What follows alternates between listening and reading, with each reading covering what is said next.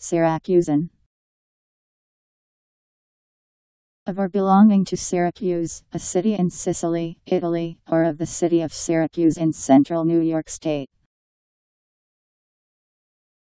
S Y R A C U S A N. Syracusan.